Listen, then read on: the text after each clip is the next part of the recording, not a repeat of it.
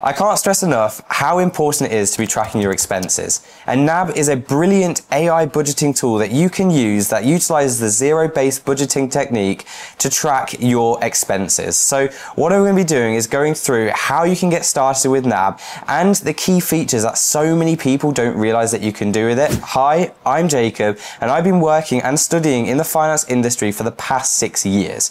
And throughout that time, I have utilized budgeting apps and budgeting spreadsheets to the absolute max. So I know them inside out. So in this video, I'm going to be going through what exactly YNAB is, a quick overview. I'm going to talk to you how you can start to use it today, then go through the pros and cons, and then finally suggest should you be using this or not. So giving you my recommendation. So without further ado, what exactly is YNAB?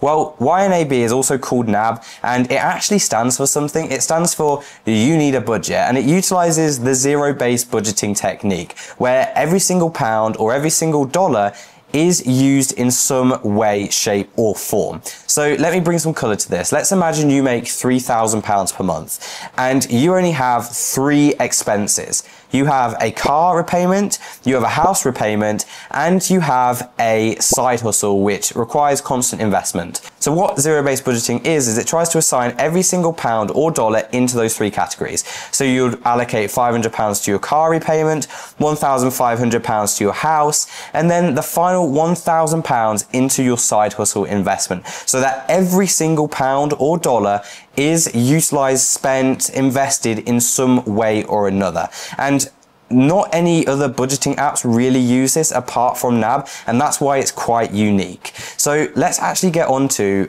how can you get using it? How can you get started today? Well, I actually filmed this a few days ago, so say hello to past Jacob. NAB actually seems quite confusing on the face of it, and I'll be completely honest, I was confused to start with, but honestly, it's so easy. So your first step is just getting started, and this is linking your bank accounts into the app. Now, all budgeting apps does do this, so do not be afraid. All AI powered tech budget apps are doing exactly the same thing. So all you've got to do is link your accounts. And for someone like me who has several different accounts, debit cards, credit cards, different savers, it's great because you can link literally all of them into your one account. So I'll show exactly how I do this. You can see here, I've currently got a cash and a credit. My cash is from my debit cards, my savers, and my credit is from my credit card. And it's so good because you can literally manage all your connections in this one space. So that's the first thing you need to do to get set up. The next thing is actually setting your budget and editing your plan. So if I go into this plan screen here and I click in the top right hand corner with the three lines and the pen, you can see if I scroll down to the bottom, my expenses are set into three categories. We've got bills, needs, and wants. And in each of them, I have certain line items. So for example, I've got my rent, which is £700. I've got utilities, which is 60 groceries, which is 200. Oh, and by the way, please don't judge me on my budget. Some of this is really cheap, some of it's extremely expensive. So if you have differing values, drop it in the comments below. But anyway, wants as well, stocks and shares ISA, cash ISA. You'll notice to the right hand side of this, you can actually set a value on how much you expect to spend in that category each month. So for example, my stocks and shares ISA, I plan to put in 250 pounds, but sometimes that's going to change. Sometimes it's going to be more, sometimes it's going to be less. And this is what I like about NAB is that you can click into the stocks and shares, you can click edit target, and you can change the amount that you want it to be. So if I wanted to, I could change it to 300 pounds. I could change it to 3,000. 30,000 pounds. Now I do not have anywhere near that money, so I am going to stick at 250 pounds. The cool thing as well is you can set the date by when you want to pay it in by. So here I've got the last day of the month just because it's easier for me. Um, my payday is towards the end of the month as well, so it makes it super, super easy. But otherwise, you can literally change it to any single date that you want. So just for example, I'm going to set it to the 31st and save that target. Now, we've got that for every single one. And what we want to do is assign our money. So What's really good is that because it's linked to your bank account, all your transactions throughout the month are going to feed into this app and are going to automatically categorize into the into the category that you've set it for. Now, some of these transactions don't always categorize perfectly, and that's why at the top you can see review 43 transactions. And if I was to click into that, it's lots of different transactions which just haven't fed through. So for example, you can see SLR barbers, that was me going to the hairdressers, and I haven't set that as a category into my app explicitly, but I have sent it into the stuff I forgot to plan for. So it's things like that where you will have to manually categorize it. So if I was to take this out of snooze mode and go all the way to the top, go into that, click on the SLR barbers, I can then categorize on the bottom bottom and I can send it to stuff I forgot to plan for. Then I click done and if I scroll down, I've now overspent on the stuff that I forgot to plan for because I haven't actually set a target there.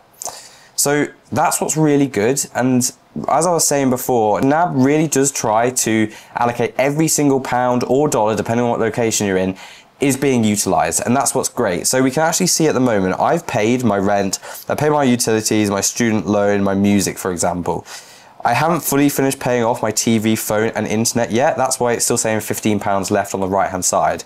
But based on the budget which I've made, I have £158.93 left and I can then allocate this to anything I want in my budget. So it means that I can spend an additional £158, which to be honest, I'm just going to blow it. I'm going to probably put it on some clothes or going out. So I can click ready to assign at the top and you can see you can auto assign by a certain category. Now, I don't always auto assign because I find it a little bit difficult. I prefer to go down manually and set myself a thing which I want to assign for. So, for example, I want to spend more on clothes this month. I've only spent £50. I want to spend an extra £110 this month. So I'm going to allocate £110. I'm going to hit done. And you can see at the top, it's instantly changed it to £48.93, which is really, really good. I can save the assignment and I'm still left with £48.93.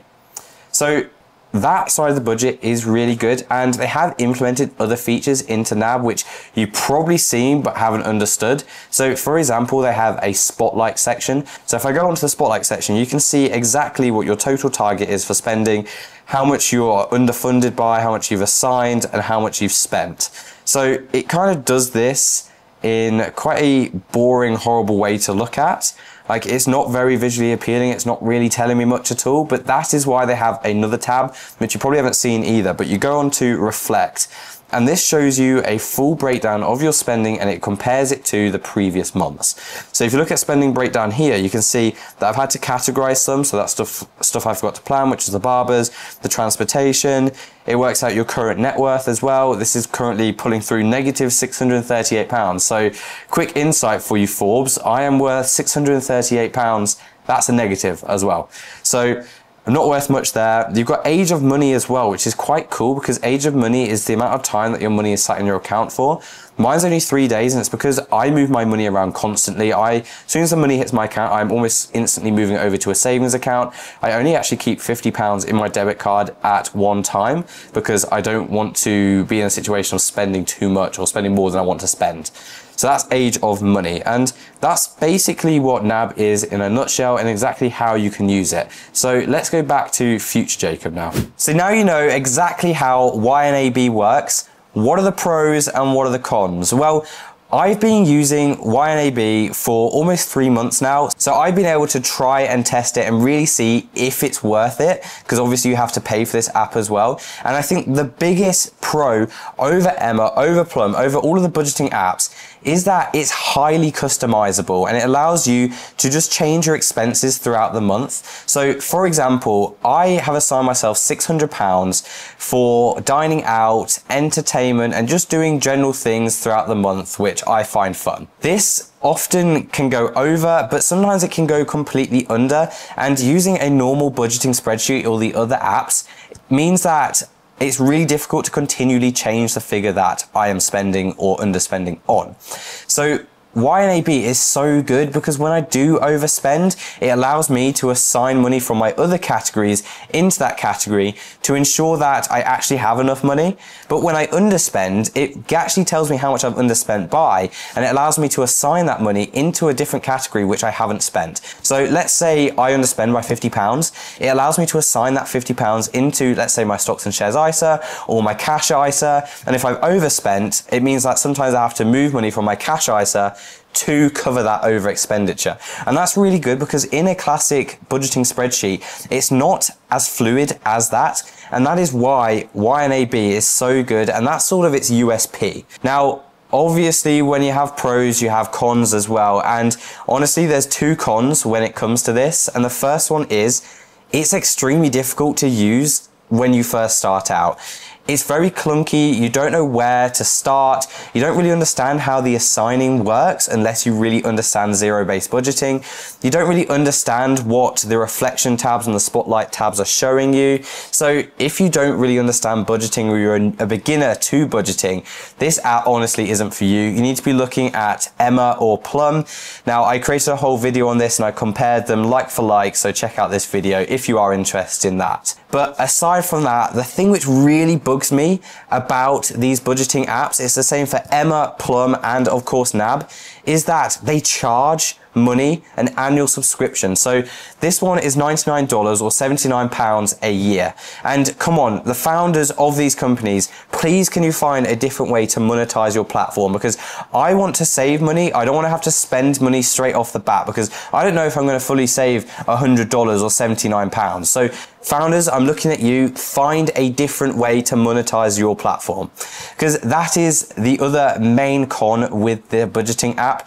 I don't want to be spending the money and I'm sure you don't want to be either. So now I've gone through the pros and cons, I've gone through how it works and a quick overview of what YNAB actually is. Should you be using it? Well, it's a kind of a yes and no answer, to be honest. If you like simplicity and you like automation, then YNAB is not for you. That is not the platform you need to be using. This platform is for people who are almost intermediate or advanced budgeters, where you understand the zero-based budgeting technique and you understand exactly how much you want to be spending each month and have the time to be able to constantly alter your budget. Now, if you are liking automation and you want simplicity, Emma and Plum are the ones for you. Now, if you actually want something a little bit more difficult to use, but you can get more performance out of it and actually save money in the future, well, this is the platform for you. It's a little bit like a Formula One car. They're difficult to drive, but the more difficult it is to drive, the better performance you can get out of it. So I can't believe I've just compared a Formula One car to a budgeting app, but yes, you heard it, I just did. So if you want something a little bit more difficult, then honestly, this is the app for you. So I hope you've enjoyed this video and before you go, stop for a second. What we need to do is go down, hit that subscribe button, hit the bell notification so you can see when my videos come up and hit that like button because it really helps the algorithm. And if you're feeling really brave, drop a comment in the comment section below. Anyway, thank you so much for watching. I'll see you in the next video.